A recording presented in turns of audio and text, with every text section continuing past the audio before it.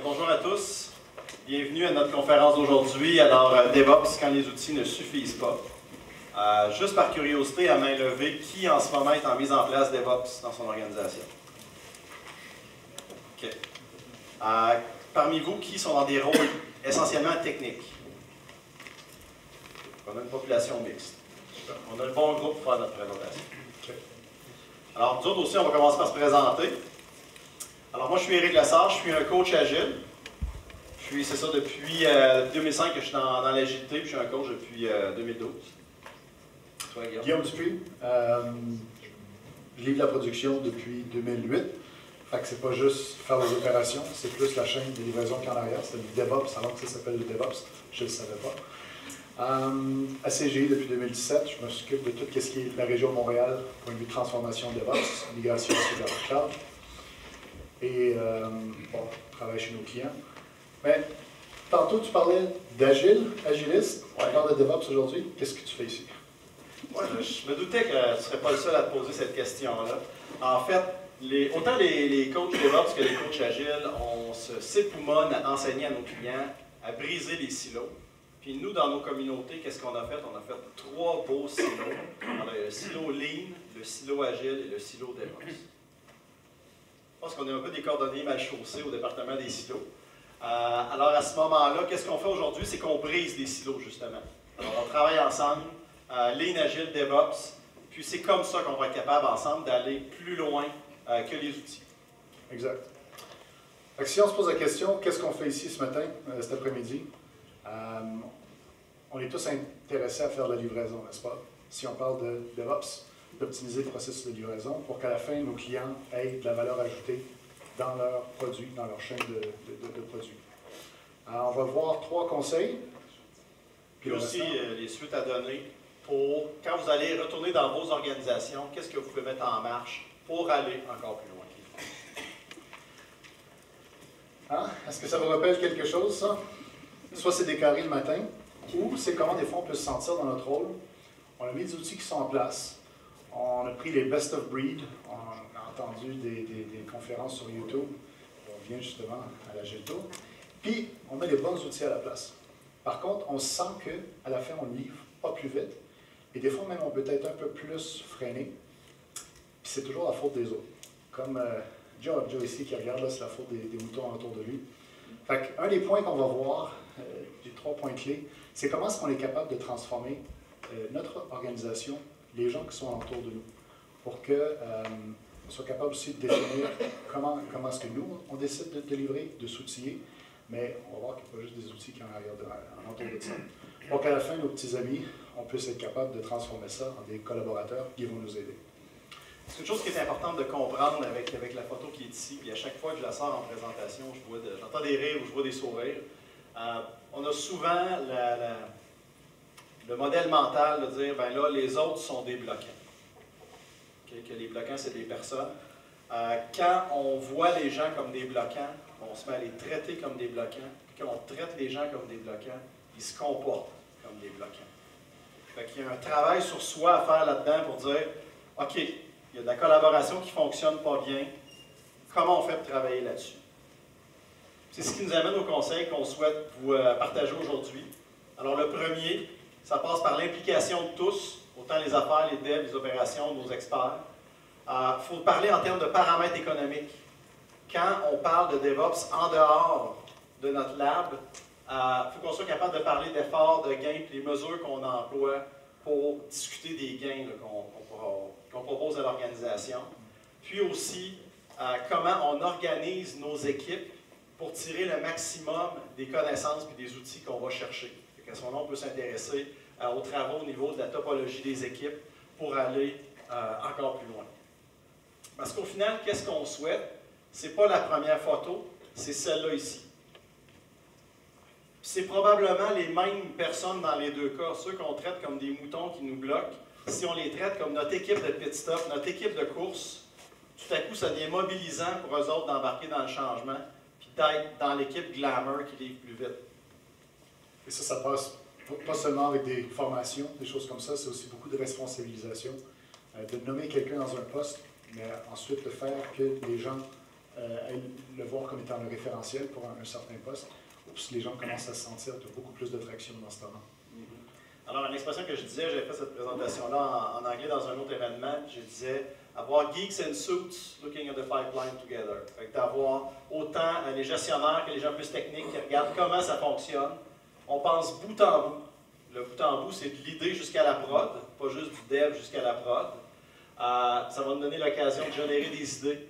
Ça va nous donner une culture de responsabilité, comme euh, Guillaume euh, nous mentionnait aussi. notre attitude, chacun fait partie de la solution, c'est un ingrédient à succès. on, veut l'image du pit stop. les gens qui sont autour de nous, on veut qu'ils fassent partie de la solution. on peut utiliser des ateliers de Value Stream Workshop, des ateliers de chaîne de valeur, puis d'étendre notre, notre pensée DevOps, d'étendre en aval, pas juste en amont. Pas juste du dev vers les ops, mais qu'est-ce qui se passe en amont du dev pour être sûr qu'on a une fluidité euh, bout en bout? Parce que si on la regarde, la chaîne bout en bout, il y a quelqu'un qui a une bonne idée, c'est priorisé, il y a un concept qui est élaboré, c'est en attente, c'est détaillé, c'est approuvé, ça va dans un carnet, analyse, réalisation, puis ensuite, euh, on s'en va jusqu'en production, on intègre le truc. Puis quand on fait de l'agile, on s'intéresse surtout à ce qui se passe là, puis on se dit, ben, pour aller plus vite, on va finir le pipeline jusqu'au bout en faisant du DevOps. Mais euh, qu'est-ce qui se passe ici? C'est qu'on a des stops un peu partout euh, qui nous empêchent d'être fluides. Fait que notre Lamborghini va manquer de gaz à un moment donné. Fait qu'on a beau aller plus vite, on a beau développer plus vite, on a beau intégrer plus vite, tester plus vite, livrer plus vite. Si en amont, ce n'est pas approuvé plus vite, ça va dormir sur une tablette, puis euh, ça n'ira pas le dev, le ops, quand on parle du développement, les techniques, les outils, le personnel technique, c'est beaucoup là qu'on est, mais le business le stratégique ne sont pas dans la conversation. Fait que les amener là-dedans, on a la vraie vitesse bout en. Ce que Safe nous dit, que j'ai un, petit peu un regard Safe, étant coach agile qui fait plusieurs mises en place Safe ces temps-ci, euh, le pipeline, dans leur cas, l'exploration fait partie du pipeline. Ce n'est pas juste un pipeline d'outils, un pipeline de dev, c'est un pipeline d'idées aussi. Puis, il propose des workshops où est-ce qu'on travaille ensemble, on collabore pour dire, OK, on part de l'idée, c'est quoi les activités qu'on fait, combien de temps on passe là-dessus, combien de temps ça attend des activités, c'est quoi le taux de retour, jusqu'à quel point les gens plus bas dans le flux euh, sont capables d'utiliser ce qu'on fait, fait qu'on voit c'est quoi les... Euh, les activités à valeur ajoutée, puis on voit là où il se perd du temps. Puis le, lean flow, ça fait partie des, valeurs du DevOps aussi. Puis si vous n'êtes pas obligé de, passer par SAFE pour faire une cartographie de votre chaîne de valeur puis de la mesurer, ça se fait depuis 2001 avec le livre de Mary Popendiek au niveau du software, puis encore plus vieux que ça dans la manufacturier. Ce n'est pas une nouvelle idée, c'est juste de, l'appliquer et de l'adapter à un contexte d'un pipeline organisationnel bout en bout inclure, oui, le code, puis les artefacts qui sont livrés en production, mais aussi avoir le pipeline d'idées en amont, que lui aussi soit fluide pour que euh, l'organisation puisse faire ses changements rapidement pour vrai. Eric, tu me parles des, beaux, concepts. Moi, je te disais, moi, je suis un gars de livraison, fait que c'est vraiment du cas par cas. Euh, c'est du concret. J'ai pas le temps de faire ça. Par où qu'on commence? Qu'est-ce qu'on fait? Ben, écoute, c'est sûr qu'une fois qu'on a fait notre cartographie et qu'on a notre équipe de course, on a nos gens d'affaires qui sont on board avec nous euh, pour que ça fonctionne. Là, ensuite, il y a des changements à faire. Puis, comme tu dis, les gens veulent livrer. Est-ce qu'il y en a qui ont des, semaines qui ressemblent à ça? À main levée? Oui, ça recoupe beaucoup de monde. Hein. On, veut s'améliorer, mais on n'a pas le temps de s'améliorer. C'est souvent le cas. Qu'est-ce qu'on fait? C'est qu'on va utiliser des paramètres économiques pour parler des changements qu'on amène. Les paramètres économiques, on va dire quoi? On va parler du time to market, puis on va parler aussi des opportunités euh, qu'on pourra manquer si justement on n'est pas, pas là à temps. Euh, il y a un élément qu'on utilise dans Safe, mais qui vient aussi de d'autres euh, techniques dans du Kanban, dans du Lean, qui est le, le coût du délai, le cost of delay. Parce qu'en fait, pourquoi on voudrait travailler avec les paramètres économiques, c'est qu'on veut du support à la grandeur de l'organisation. Pas juste avoir notre gestionnaire du développement qui nous regarde aller, ah les boys, vous êtes vraiment hot, les girls, vous livrez, vous êtes super. Mais au final, il y a des, gens de finance qui regardent des chiffres. il faut que nos changements soient capables de voir l'impact au niveau des chiffres. Ça va nous amener aussi le financement. Si on est capable de montrer la valeur, ben, ça va être facile de justifier l'argent qui va avec. comment on rend visible l'impact économique, c'est faut comprendre le concept de c'est quoi le cost of delay. imaginez que vous êtes une entreprise de services financiers, et que la grosse période de l'année où tout le monde prend des REER, c'est entre janvier puis euh, mars. Puis si vous n'êtes pas prêt en janvier, regardez tout ce que vous allez perdre comme vente. La partie en parle, c'est ce que vous trouvez à perdre. Parce que vous êtes arrivé tard sur le marché, puis à la fin, l'opportunité est épuisée.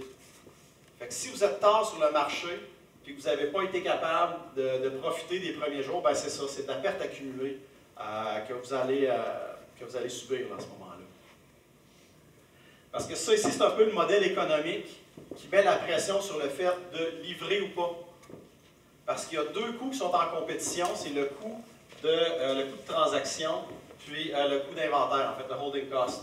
Parce que qu'est-ce que, si on les définit clairement, le transaction cost, c'est combien ça me coûte aller en prod dans le cas du développement. Puis le holding cost, c'est combien je perds d'argent à laisser ma fonctionnalité sur les tablettes. Fait que si nos mises en prod nous coûtent vraiment cher, les petites opportunités ils n'auront pas assez de valeur pour justifier le fait de, faire une mise en prod. Fait qu'on va les accumuler sur une tablette jusqu'à ce qu'on en ait assez, puis tout à coup, on part la machine puis on les.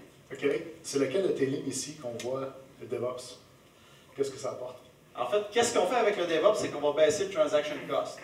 Fait au lieu de faire une mise en prod traditionnelle où est-ce qu'il faut faire une demande à un autre département qui nous fait de la facturation croisée, avec quelqu'un qui est sur Pagette de nuit, puis qui copie des fichiers de fin de semaine.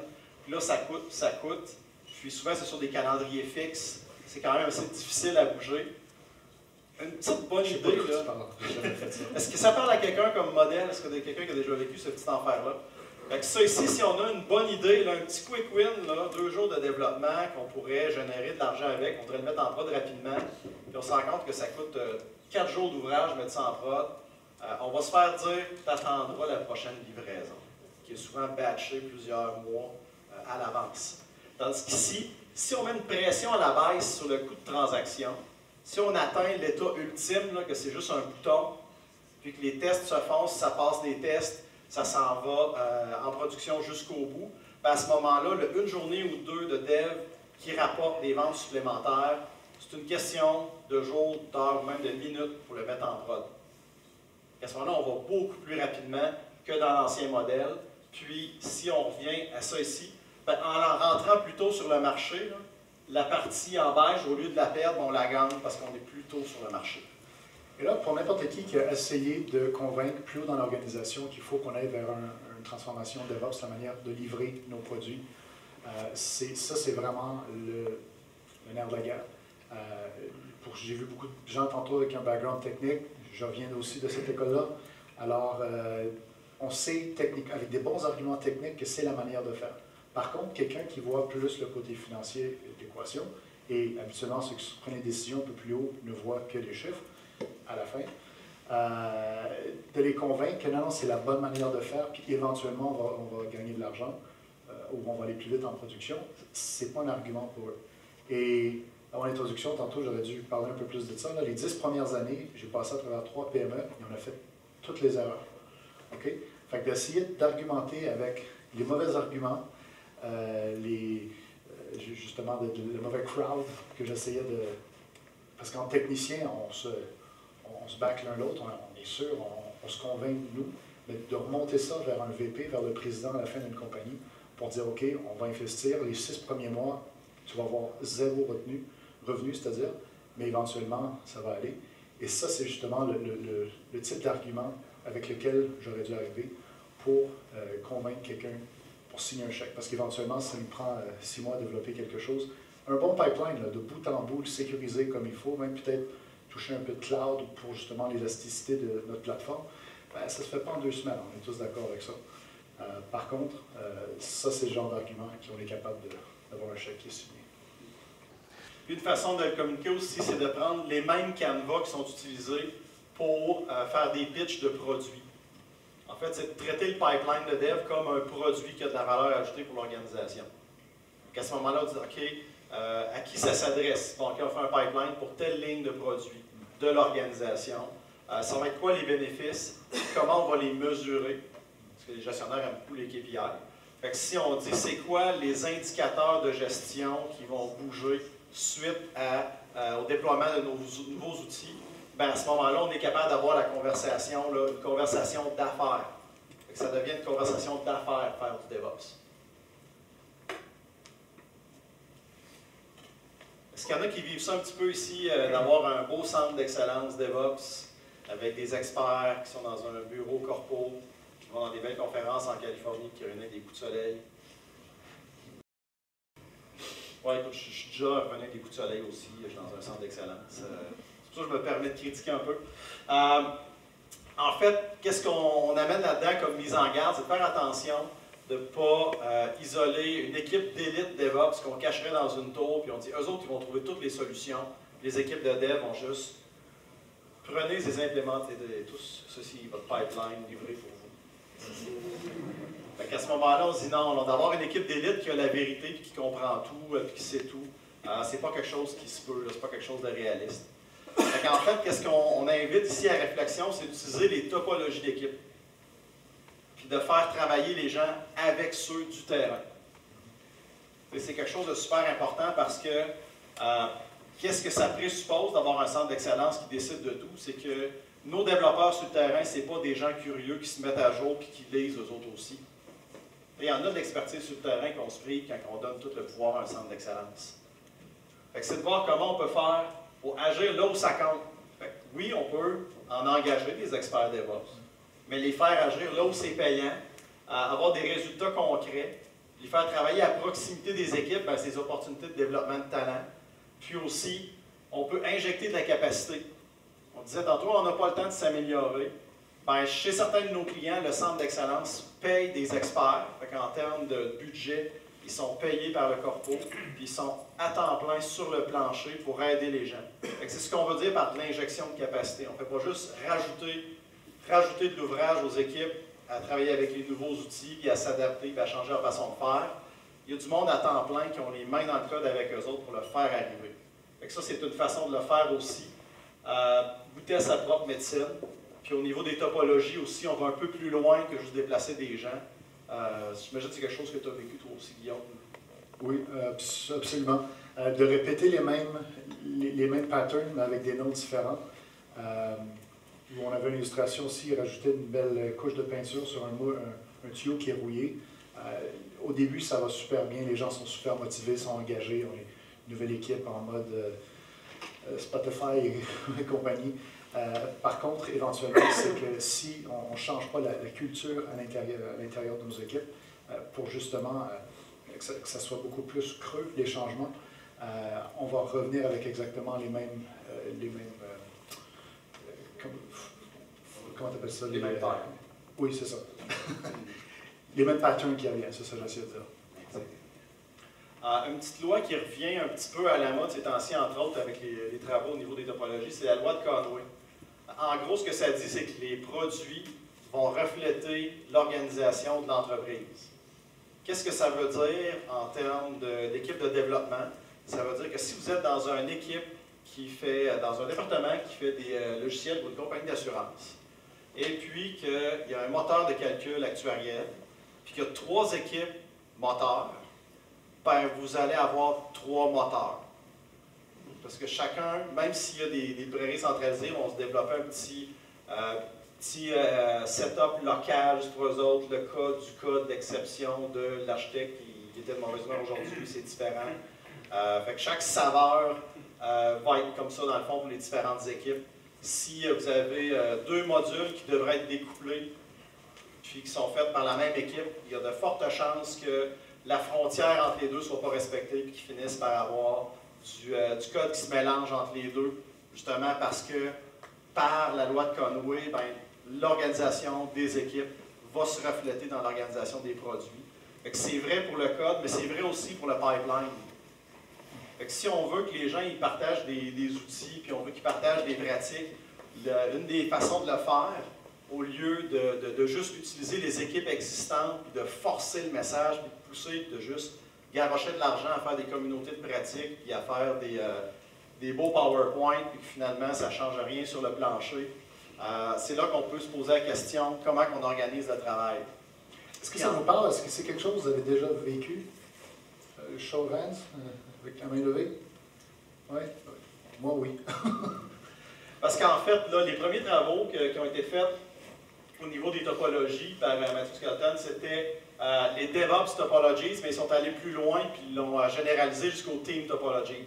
Ils ont commencé par mettre les anti euh, les antitypes, c'est des anti-patterns pour dire le premier anti-pattern, c'est le dev d'un bord et le ops de l'autre, le, le, rideau de fer entre les deux. Euh, sinon, on a un silo DevOps.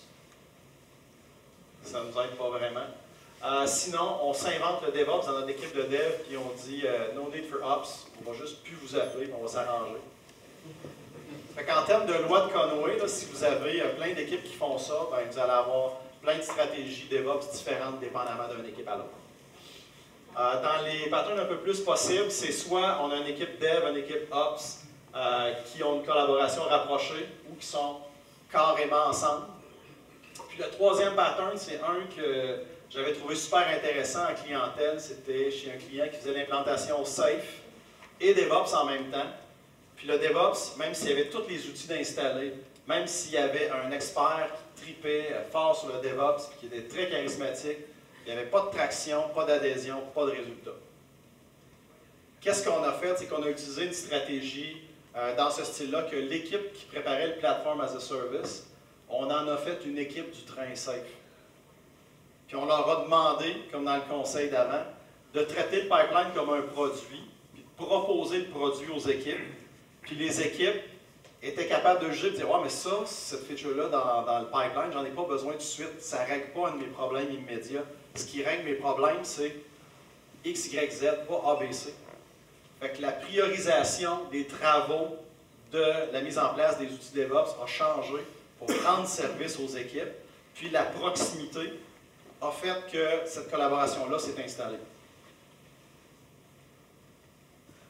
Si on regarde les différentes topologies d'équipe, parce que là, c'est bien beau, on fait juste des ronds un par-dessus l'autre, ça, ça ne vous mettra pas en action facilement dans vos organisations. Ça, c'est les quatre types d'équipes qu'on a dans la, dans la, taxonomie de topologie des équipes. On a les équipes Stream Align, ça, c'est des équipes qui développent des, user stories de valeur à faire. Ça, c'est l'équipe de développement agile classique qu'on a. Euh, une équipe habilitante, c'est une équipe qui est là pour faire monter en compétence les autres, puis euh, leur passer une ville euh, pour collaborer avec eux autres aussi un peu plus proche. Un système compliqué. Euh, une des choses qui est intéressante dans les concepts de Team Topology, c'est la charge mentale des équipes. Pour dire, on ne peut pas à un moment donné connaître toutes les disciplines de la compagnie, connaître tous les systèmes, connaître toutes les bases de code partout. ça se peut qu'il y ait certains segments qui soient tellement spécialisés, comme un moteur actuariel, ben, qu'on ait des gens très spécialisés qui s'en occupent ou dans des, euh, des cas où c'est des composants qui sont très normés, puis on veut qu'il y ait une certaine constance dans, euh, dans la rigueur du travail, puis dans la façon de travailler. À ce moment-là, on pourrait avoir une équipe de sous-systèmes compliqués, puis une équipe plateforme. Si on met ça ensemble, dans l'exemple ici, euh, dans le train que j'avais, j'avais trois équipes qui livraient de la valeur. J'avais mon équipe qui était en train de mettre en place le base, qui faisait partie du train, puis qui collaborait avec les autres équipes. Puis, euh, mon équipe d'architecture est en facilitation pour s'assurer que tout le monde adhère au nouveau concept, aux nouvelles façons de designer. Parce que du DevOps, c'est pas juste installer des outils, la façon de faire le code est différente. Euh, qu'à ce moment-là, pour être sûr d'habiliter tout le monde à ce qui, euh, collabore euh, au bon succès de la mise en place DevOps. Puis aussi, notre équipe d'architecture était en lien très serré avec l'équipe de la plateforme pour être sûr que la nouvelle plateforme, ça répondait aux besoins des devs. Qu'on avait le bon produit pour les devs. Qui ici livre justement avec plus que juste une escouade agile de livraison? Le cas, ok, parfait. Fait que ça, c'est vraiment là où ce que la sauce commence à coller, là, avoir de la saveur, c'est quand on commence à euh, plusieurs équipes. Un projet sur lequel on travaille présentement dans le réseau ferroviaire, c'est huit escouades en parallèle. Mais justement, on a une pas dire pratique, mais une, euh, un set de, règles pour que, comment est-ce qu'on livre. Là, il a fallu qu'on ait quand même certaines saveurs, comme, comme tu parlais plus tôt. certaines escouades ont des spécificités. faut absolument qu'on les, qu'on les accommode. Euh, par contre, euh, ça, c'est la manière de le faire de op- optimale. Puis encore là, je vous dirais de ne pas prendre cette recette-là pour du cash. Intéressez-vous euh, justement à ce livre-là puis aux concepts qui viennent avec. Dans le fond, trouvez une façon d'assembler la collaboration de vos équipes pour maximiser l'impact que vous voulez avoir avec votre DevOps. Fait les deux choses clés, c'est vraiment la taxonomie puis la topologie des équipes. Ça vous donne un langage pour dire comment on organise nos équipes, comment on organise la collaboration, que ça fonctionne bien. Puis aussi le reverse Conway. Comme on disait tantôt que l'organisation va livrer des produits qui lui ressemblent. C'est une fois qu'on a choisi la façon qu'on veut collaborer, ben, il faut, dès- faut faire l'architecture de notre organisation qui reflète l'architecture qu'on souhaite avoir nous aussi. Parce que ultimement, une va entraîner l'autre. Si on revient à nos trois conseils clés ici, c'est l'implication de tous, les paramètres économiques, la topologie des équipes. Fait qu'avec ça ici, c'est comme ça qu'on peut aller plus loin qu'avec les outils. Des questions? Oui. concept de, de, de, de l'organisation qu'on vient de commencer, euh, quelque chose de ce qui va dans les les développements. Quelque chose de bien sérieux.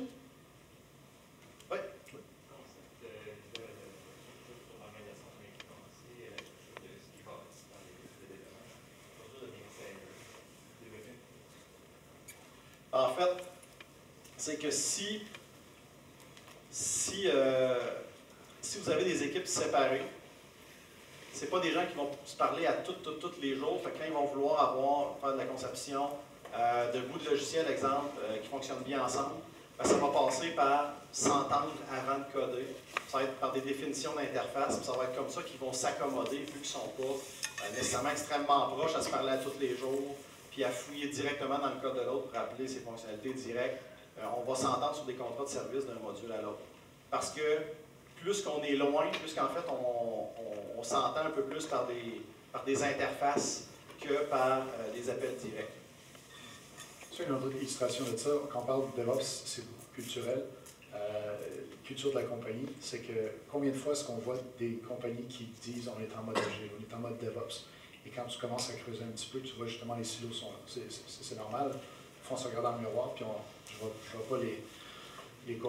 Euh, par contre, qu'est-ce qu'on on parle du point de vue de l'organisation, c'est que si c'est une organisation qui est très structurante top-down, ou ce que justement, c'est pas, euh, comment je peux dire, c'est très directif, on va se retrouver justement avec le même genre de réflexe à l'intérieur des équipes, comment est-ce qu'on va livrer?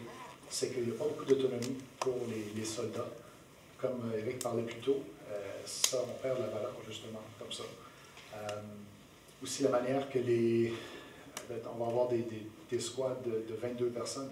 En donné, c'est qu'on perd justement ce- cette agilité-là, d'être capable de, euh, de- de couper nos morceaux. Comme on mange un éléphant, c'est une bouchée à la fois, là, fait que ça revient à peu près à la même logique. Fait que euh, c'est, je pense que c'est ça qu'on essaie de passer comme message. Ouais. On va, faire, va falloir faire un effort extra pour justement les, les casser. De un, c'est comme bien des problèmes dans la vie, il faut être conscient qu'on a un problème. Puis après ça, on est capable de mettre les bons outils. Ou faire venir de l'aide aussi, de, de l'externe. Plusieurs compagnies qu'on a vues, c'est que justement, il y avait des petites euh, chicanes à l'interne. Euh, les équipes de, de dev, opération, puis là, ça, se passe une fois de temps en temps, d'avoir un, une espèce de médiateur qui vient de l'externe, euh, qui lui apporte justement un carnet de bonnes pratiques. On propose ci, on propose ça. Ben, c'est aussi un coup de main externe, neutre. Puis en tant qu'expert, on ne prend pas un côté ou l'autre. Puis des fois, ça peut calmer le jeu.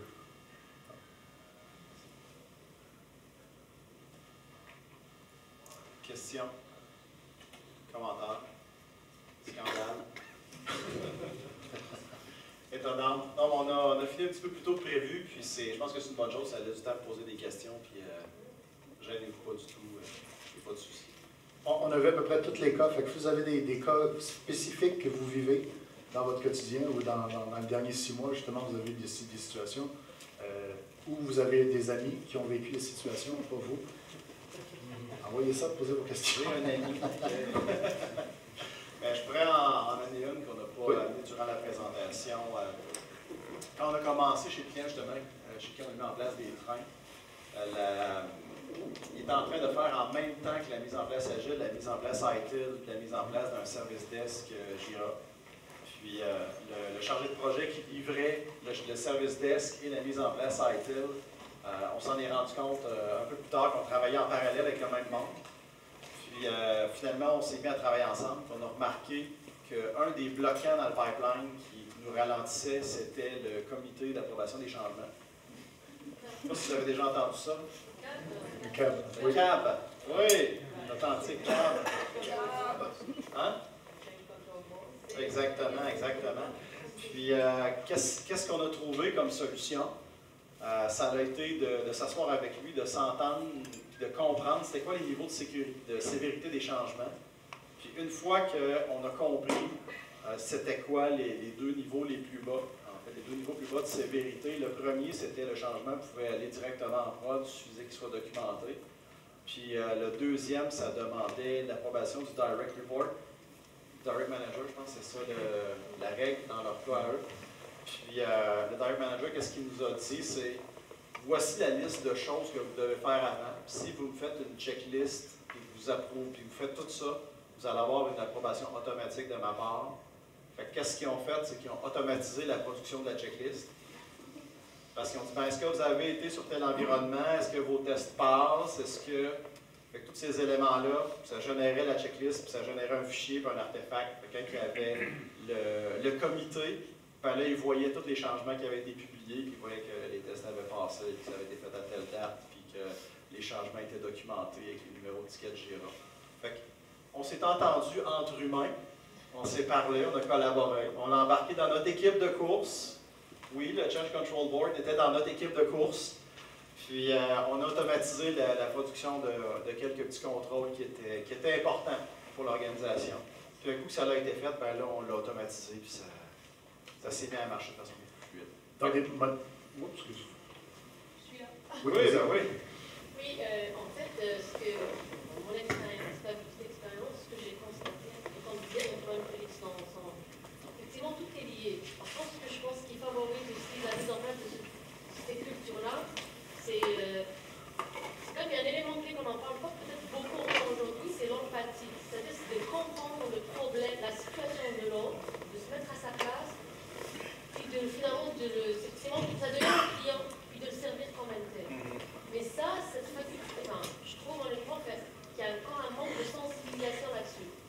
Donc des fois, on reste toujours sur la partie méthodo, technique, euh, process humain, mais sans parler de ces facultés-là que... Ben, c'est ce euh,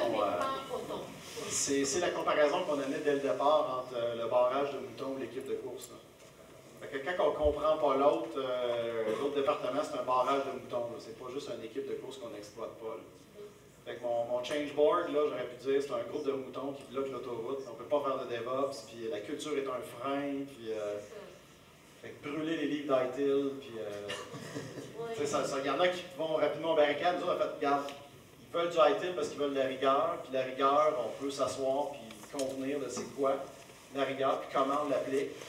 Puis on fait partie de la même équipe de course qu'on livre. là. On a eu de l'empathie pour le besoin de rigueur. Puis eux ont eu de l'empathie pour notre besoin de s'intéresser au lead time. Puis ensemble, on a trouvé une solution. En fait, les change control board, les gens qui sont là-dessus, souvent, ce que j'ai trouvé, c'est que des gens assez haut niveau, là, on, on leur dit, tu es obligé de t'enfarger dans les détails, c'est contre leur ADN, là, on s'entend. Et ils n'aimaient pas ça. Puis là, on leur a apporté comme solution de dire, on va plutôt, vous allez être le gestionnaire du processus. Puis laissez-nous gérer le processus. Vous allez établir les règles qu'on va les appliquer. On va vous démontrer qu'on l'a pris, puis c'est ça que vous avez fait. Et là, il était heureux, il n'avait plus à s'enfarger d'un fleurs du tapis. Puis les mises à jour, les modifications, les petites corrections, les bugs ici, les trucs, ça se réglait tout seul. Est-ce que les gens de ton CCB, ils demandaient des affaires qui n'avaient pas d'allure? Non, il n'y avait juste pas le temps. Fait que ça retardait les demandes de changement pendant des mois. Mon point, c'est que la, la- la majorité des points qu'ils vont nous apporter, c'est des points qu'on fait déjà, mais peut-être qu'ils ne sont pas euh, inventoriés. Puis c'est ça, ils ne sont pas remontés vers eux, exactement. Fait que, tu sais, être sûr que 100% de nos unit tests fonctionnent sur certaines parties du code qui sont plus. tu sais, OK, parfait. Est-ce qu'on est capable d'automatiser ça? Oui, absolument. Euh, plein, plein de morceaux comme ça. Pas que. Pas que, exactement. Aussi passer, continue. c'est ça. C'est ça. en fait, ben, c'est ça, c'est là où est-ce que. Euh, là, c'est là qu'on ramène les outils dans la conversation, des fois, la meilleure manière d'avoir de la rigueur, c'est d'automatiser. Mais il faut d'abord s'entendre avant. Parce que s'il y, a des conversations qu'on refuse d'avoir, par manque d'empathie, puis ça nous prive d'opportunités qu'on pourrait regarder ensemble, qu'on pourrait optimiser, soit en changeant le processus, soit en enlevant des étapes qui n'ont pas de valeur ajoutée, ou en automatisant les étapes qui peuvent, euh, peuvent l'être, pour conserver la rigueur et la mission du processus. Dans le titre de notre conférence aujourd'hui, c'était pas les outils, c'est c'est pas bon, c'est pas du tout ça. C'est au-delà. C'est la base, il faut absolument qu'ils soient là. Comment on les utilise comme il faut. Là, c'est là qu'on apporte la vraie valeur ajoutée. Serait tout? Ben, merci beaucoup, mesdames et messieurs, pour votre temps.